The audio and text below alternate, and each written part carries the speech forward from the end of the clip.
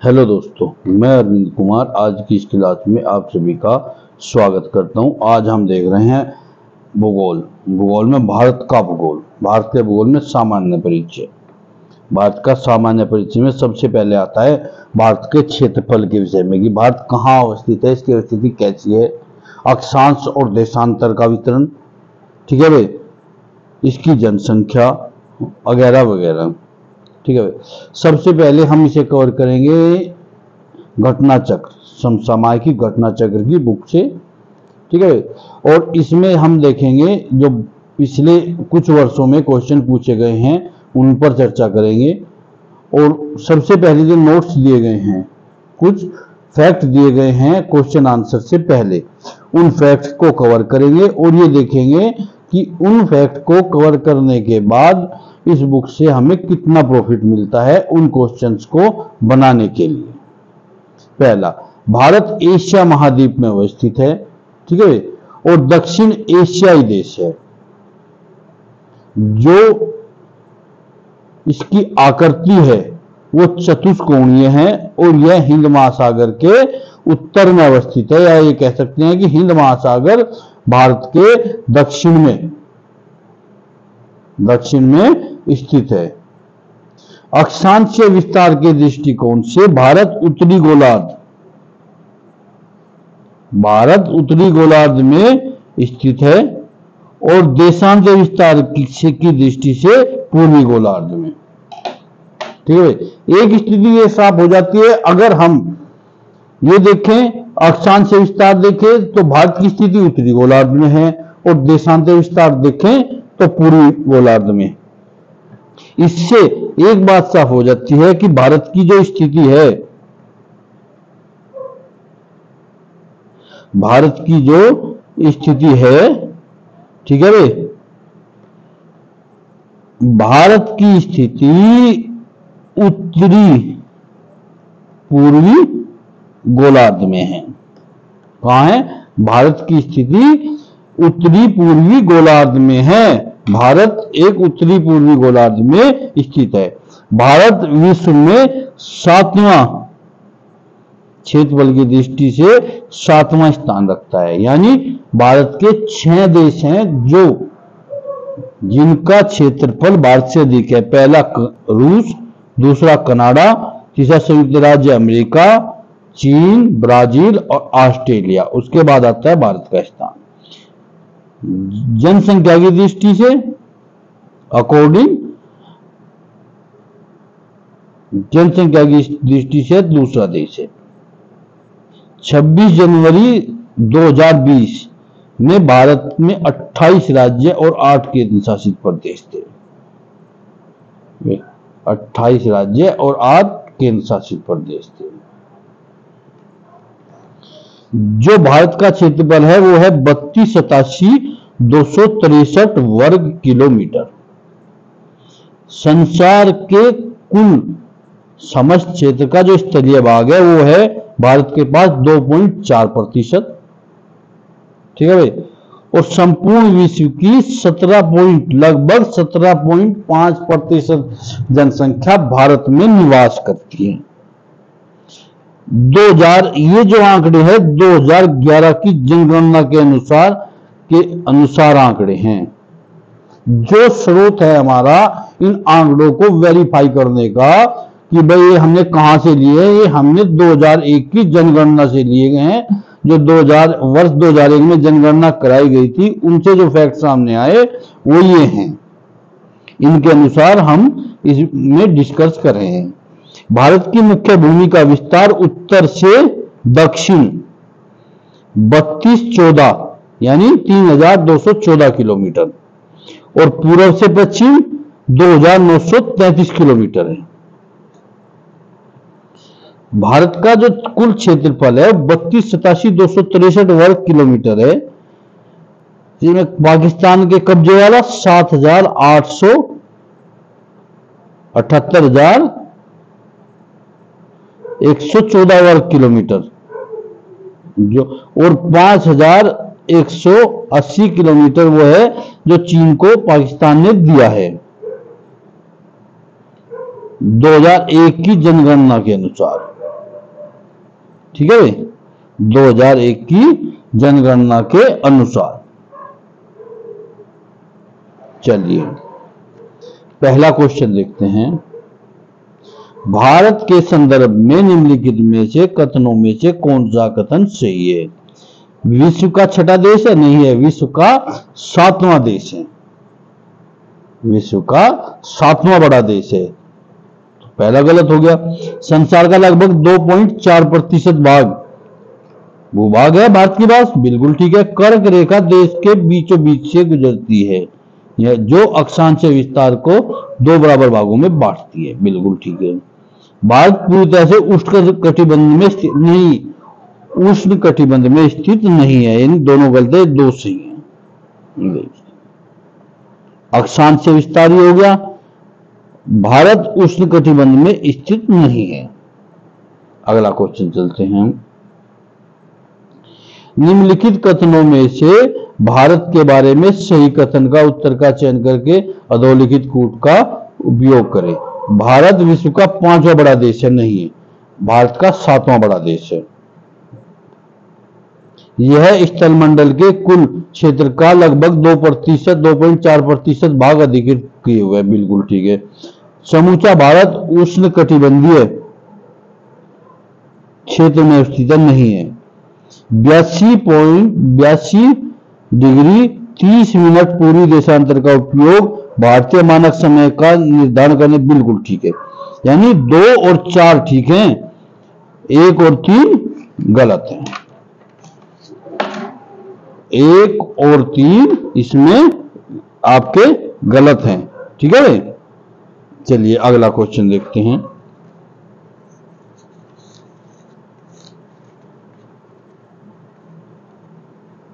जो अगला क्वेश्चन है, देखिए, भारत सातवां देश है, संपूर्ण भारत, अंडमान, निकोबार द्वीप सहित छह अक्षांश विस्तार छह डिग्री पैंतालीस मिनट से सैंतीस डिग्री छह मिनट। उष्ण कटिबंधीय क्षेत्र का विस्तार तेईस डिग्री तीस मिनट उत्तरी है और दक्षिण के मध्य है। एक और तीन गलत हो गए और दो और चार सही है। क्षेत्र बल की दृष्टि से सातवां बड़ा देश है। भारतवर्ष आकार में विश्व का सातवां बड़ा देश है। देखिए, जो फैक्ट हमने वहाँ देखे हैं, उनसे लगभग मैंने आपको बताया था 80 परसेंट क्वेश्चन केवल उसे एक से दो बार आप ध्यान से पढ़ेंगे तो आपके 80 परसेंट क्वेश्चन वहाँ से डायरेक्ट बनेंगे। ठीक है भाई? ये वही क्वेश्चन है जो अब से पहले पूछे जा चुके हैं। भारत का क्षेत्रफल संसार के दो पॉइंट चार प्रतिशत है, किंतु इसकी जनसंख्या लगभग संपूर्ण सत्रह परसेंट, सत्रह पॉइंट पाँच। नाम इसे सोलह कह सकते हैं, सत्रह आ गया। अट्ठारह भी नहीं कह सकते क्योंकि सत्रह दे दिया गया है। तो सत्रह पॉइंट पाँच परसेंट है एक्यूरेट ये लगभग में दिया गया है आपका। चलिए, आगे चलते हैं।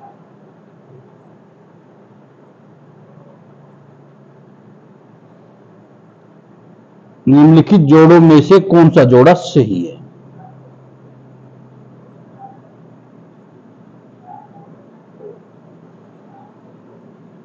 भारत का भौगोलिक क्षेत्रफल लगभग तीन पॉइंट दो आठ मिलियन वर्ग किलोमीटर है।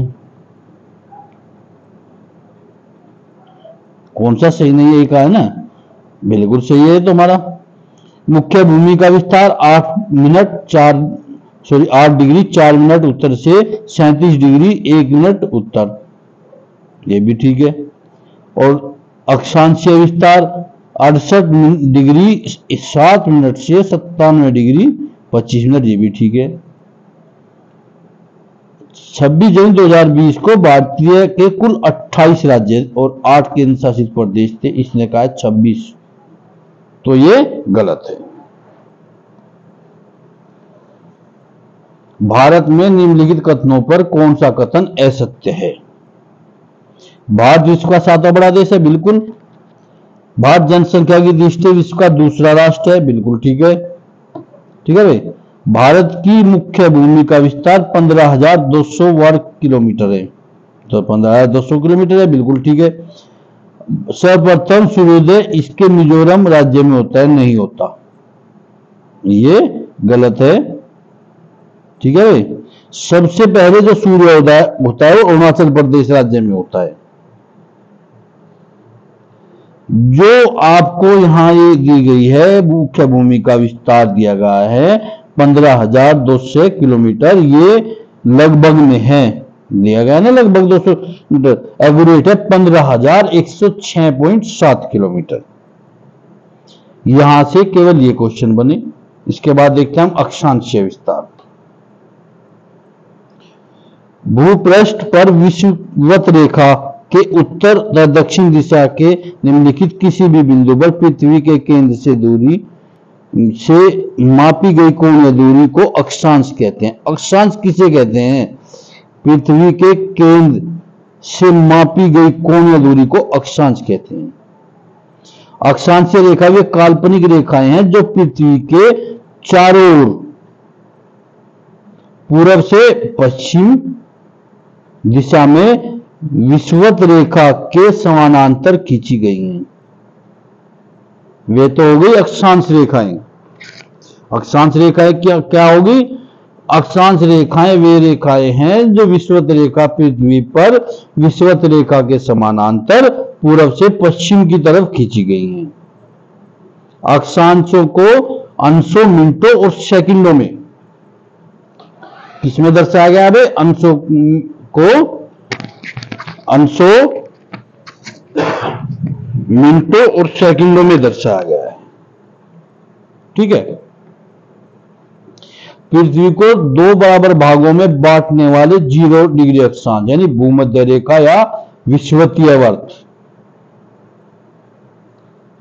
भाग को उत्तरी गोलार्ध और दक्षिणी गोलार्ध दो भागों में बांटता है। देखिए, ये जो हमारा ज़ीरो डिग्री है, ये वाली, ये भारत ये पृथ्वी को दो बराबर भागों में बांटते हैं, एक तो उत्तरी गोलार्ध, एक दक्षिणी गोलार्ध। ये जो है, रेखाएँ, ये होगी उत्तरी अक्षांश रेखाएँ और ये हो गई आपकी दक्षिणी अक्षांश रेखाएँ। ठीक है उत्तरी अक्षांश रेखाएँ और दक्षिणी अक्षांश रेखाएँ। उत्तरी गोलार्ध, भूमध्य रेखा, यानी या विश्वस्वर और दक्षिणी में दक्षिण गोलार्ध। भूमध्य रेखा के जो उत्तर में स्थित रेखाएँ या उत्तरी अक्षांश रेखाएँ और जो दक्षिण में स्थित है, वो है दक्षिणी अक्षांश रेखाएँ। ठीक है भाई? आपको अक्षांश रेखाओं के बारे में बिल्कुल स्पष्ट हो गया। अब आती है यदि अक्षांश रेखाओं को एक डिग्री के अंतराल पर खींचा जाए तो उत्तरी गोलार्ध में 89 अक्षांश रेखाएँ हैं और दक्षिणी गोलार्ध में भी 89 है। तो टोटल अक्षांश कितनी होंगे? इसमें विश्व वर्ष को लेकर अक्षांश रेखाओं की कुल संख्या 179 होगी। कितनी होगी 179 देखो 89 प्लस 89 और 1 अठारह उन्नीस का नौ अस्सी लगा एक, आठ आठ, सोलह और एक सत्तर वन सेवेंटी नाइन होंगे। यानी 89 89 तो होगी यहाँ, और 89 हो गई हमारी यहाँ, और एक हो गई वन। हमारी ये हो गई विश्ववत रेखा ज़ीरो डिग्री। ठीक है भाई? इसके बाद चलिए, आगे चलते हैं। किन्हीं दो समानांतर रेखाओं के मध्य की दूरी कितनी होगी? 111 किलोमीटर होगी। जो ये अक्षांश हैं जो ये दो रेखाएँ हैं, इन दो रेखाओं के बीच की दूरी 111 किलोमीटर है। जो अक्ष के समानांतर रेखा खींची गई है, उनकी दूरी 111 किलोमीटर है। चलिए, भूपृष्ठ पर उत्तरी ध्रुव तथा दक्षिणी ध्रुव को मिलाने वाली काल्पनिक रेखाओं, उत्तरी ध्रुव और दक्षिणी ध्रुव को जो काल्पनिक रेखाएँ कौन सा ध्रुव? ये तो हो गया हमारा उत्तरी ध्रुव। ये हो गया हमारा दक्षिणी ध्रुव। ठीक है भाई ये हो गया हमारा उत्तरी ध्रुव, ये हो गया हमारा दक्षिणी ध्रुव। ये दो ध्रुव हो गए, इनके को मिलाने वाली जो काल्पनिक रेखाएँ हैं, पृथ्वी को दो बराबर भागों में बांटती हैं। ठीक है? पृथ्वी को दो बराबर भागों में बांटती है। प्रधान यामियोत्तर रेखा, यानी Greenwich mean timeline Greenwich mean timeline यह रेखा लंदन के ग्रीनविच शहर से होकर गुजरती है। इसे ज़ीरो डिग्री देशांतर कहा जाता है। यह है भाई हमारा ज़ीरो डिग्री ज़ीरो डिग्री देशांतर। ठीक है? प्रधान याद है पूर्व से पूर्व और पश्चिम में उत्तरी ध्रुव और दक्षिणी ध्रुव को मिलाने वाली काल्पनिक रेखाएँ हैं, जो देशांतर रेखाएँ, इन्हें देशांतर रेखाएँ भी कहा जाता है। ये रेखाएँ समांतर नहीं है। सीधी सी बात है। इनके बीच की दूरी यहाँ अलग है, यहाँ अलग है और यहाँ जाके ये उत्तरी ध्रुव और दक्षिण ध्रुव में मिल जाती है। इसलिए इनकी दूरी समानांतर नहीं है। इनकी दूरी समानांतर कहाँ है? विश्ववत पर। यहाँ ज़ीरो डिग्री पर इनकी जो दूरी है वो 111.33 किलोमीटर है। 111.33 किलोमीटर है। यानी मध्य में दूरी बढ़ जाती है और उत्तरी और दक्षिणी ध्रुव में कम हो जाती है। भारत पूर्णतः उत्तरी गोलार्ध में स्थित है। भारत पूर्णतः उत्तरी गोलार्ध में स्थित है। अक्षांश से विस्तार कितना हो गया रे? विस्तार 6 डिग्री 45 मिनट उत्तरी अक्षांश से लेकर 37 डिग्री 6 मिनट उत्तरी अक्षांश तक। और इसकी मुख्य भूमि आठ डिग्री चार मिनट उत्तरी अक्षांश से 37 डिग्री एक मिनट उत्तरी अक्षांश। अड़सठ डिग्री एक सात मिनट पूर्वी देशांतर से सत्तानवे डिग्री 25 मिनट पूर्वी देशांतर के मध्य फैला है। ठीक उच्च कड़िया क्षेत्र का विस्तार 23 डिग्री 30 मिनट उत्तरी एवं दक्षिणी अक्षांशों के मध्य है। भारत, उष्ण एवं उपोषण कटिबंध दोनों में है। ये बात ध्यान रखनी है ना ही उष्ण कटिबंध में ना ही उपोषण में। उष्ण और उपोषण दोनों कटिबंधों में भारत की अवस्थिति है। ज़ीरो डिग्री से उच्च अक्षांश नब्बे डिग्री की ओर जाने पर दिन और रात में की अवधि में अंतर हो जाता है। उत्तरी गोलार्ध में अक्षांश का प्रभाव दक्षिणी के अक्षांश की ओर दिन और रात में अवधि पर पड़ता है। ठीक है भाई? ये तो वो फैक्ट्स हो गए जो इसमें हमें दिए गए थे। ठीक है? अब हम क्या करेंगे? हम देखेंगे वो क्वेश्चन जो अब से पहले पूछे गए हैं। भारत का विस्तार। भारत के तीनों विस्तार बिल्कुल ठीक है। ठीक है भाई? ओ सॉरी तीनों में से कोई नहीं है। भारत का विस्तार है, मुख्य भूमि का विस्तार है, उत्तरी पूर्वी गोलार्ध में आठ डिग्री चार मिनट उत्तरी से सैंतीस डिग्री छह मिनट उत्तरी अक्षांश और अड़सठ डिग्री एक सात मिनट से पूर्वी से सत्तानवे डिग्री पच्चीस मिनट पूर्वी देशांतर के मध्य। और कर्क रेखा भारत को लगभग बीचों बीच से होकर गुजरती है। लगभग बीचों बीच से पूर्ण रूप से बीचों बीच से नहीं गुजरती। ठीक है? सिक्किम से होकर गुजरने वाली अक्षांश रेखा निम्न में से किस एक और राज्य से गुजरती है? राजस्थान से। जिस ज़िले में 70 डिग्री पूर्वी देशांतर रेखा गुजरती है, वह कौन सा है? जैसलमेर। ठीक है भाई? अब देखेंगे हम कर्क रेखा। विश्वत व्रत के उत्तर में स्थित तेईस डिग्री, तीस मिनट उत्तरी अक्षांश को कर्क रेखा, यानी साढ़े तेईस डिग्री। इसे हम तेईस से ही एक बट्टा दो डिग्री। उत्तरी अक्षांश भी कहते हैं। ठीक है? कर्क, इसे कर्क रेखा भी कहते हैं। कर्क रेखा भारत के लगभग मध्य से होकर गुजरती है, पूर्ण रूप से मध्य से नहीं। कर्क रेखा आठ राज्यों से होकर गुजरती है। गुजरात, राजस्थान, मध्य प्रदेश, छत्तीसगढ़, झारखंड, पश्चिम बंगाल, त्रिपुरा, मिजोरम। और ये क्रम इनका पश्चिम से पूर्व की तरफ़ है। पश्चिम से पूर्व की तरफ़ क्रम है। पहले गुजरात पड़ेगा, फिर राजस्थान, फिर मध्य प्रदेश, छत्तीसगढ़, झारखंड, पश्चिम बंगाल, त्रिपुरा और उसके सबसे बाद में पड़ेगा मिजोरम।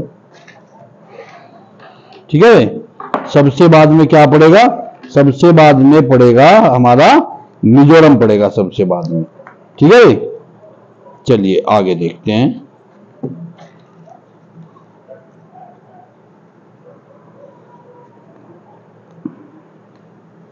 ये देखिए।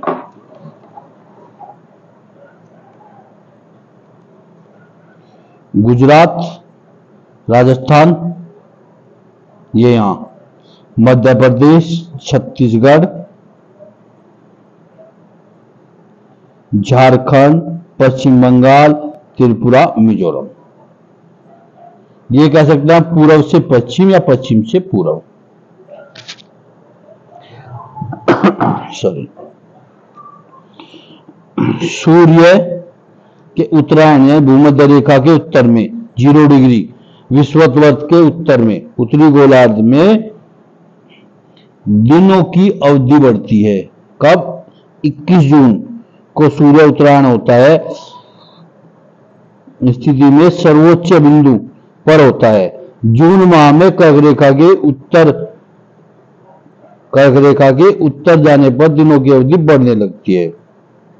और माही नदी कर्क रेखा को दो बार काटती है। काफ़ी बार पूछा जा चुका है कि कर्क रेखा को दो बार काटने वाली नदी का क्या नाम है? अब ये वो कुछ राज्य हैं जो काफ़ी बार पूछे जा चुके हैं। जैसे अग्रतला है, का अक्षांश उत्तरी अक्षांश से विस्तार। अक्षांश से विस्तार, ठीक है? अगरतला है, गांधीनगर है, जबलपुर है, उज्जैन, कोलकाता, नागपुर, अहमदाबाद, वाराणसी, भोपाल। ठीक है? पहला क्वेश्चन देखिए, कर्क रेखा किस राज्य से होकर गुजरती है? बिहार, झारखंड।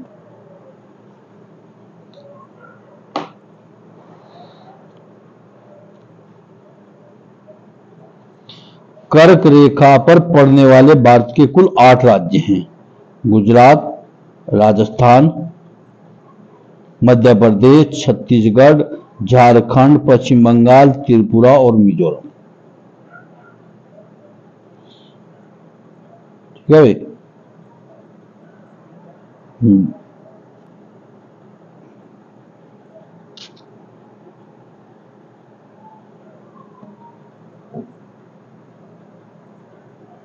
जिस समय प्रश्न पूछा गया था, उस समय जो झारखंड था, वो बिहार का ही भाग था, उसके बाद ही अलग हुआ है। इसलिए दोनों दिए गए इसमें कंफ्यूजन की कोई बात नहीं है। कर्क रेखा निम्नलिखित में से किन राज्यों से होकर गुजरती है? अभी बताया आपको, गुजरात से भी गुजरती है, छत्तीसगढ़ से भी गुजरती है, झारखंड से भी उत्तर प्रदेश से होकर नहीं गुजरती। ठीक है? कर्क रेखा गुजरती है। इन सभी से मध्य प्रदेश, मिजोरम, त्रिपुरा तीनों से होकर गुजरती है। कर्क रेखा से काफ़ी क्वेश्चन पूछे जाते हैं। कितने भारतीय राज्यों से होकर कर्क रेखा गुजरती है? आठ भारतीय राज्यों से होकर कर्क रेखा गुजरती है। ये झारखंड। किस राज्य से कर्क रेखा नहीं गुजरती? मणिपुर से नहीं। त्रिपुरा से भी गुजरती है, छत्तीसगढ़ से भी और मिजोरम से भी।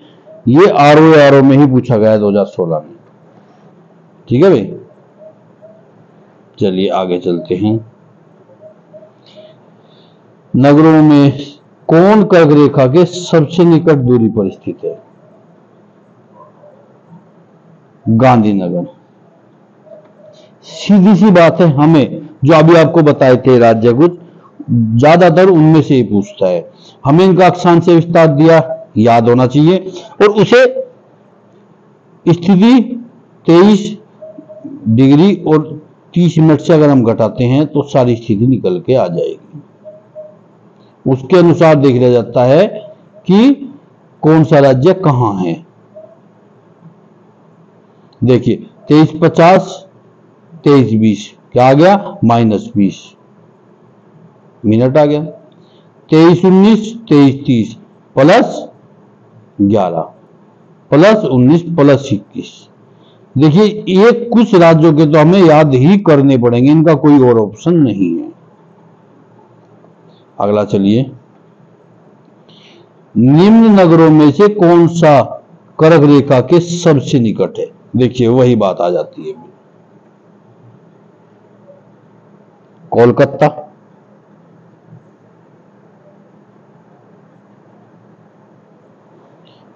कौन सा महत्वपूर्ण अक्षांश भारत को दो बराबर भागों में बांटता है?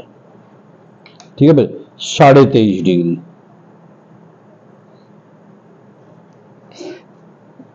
निम्नलिखित में से कौन सा भारतीय राज्य कर्क रेखा के उत्तर में स्थित है मणिपुर?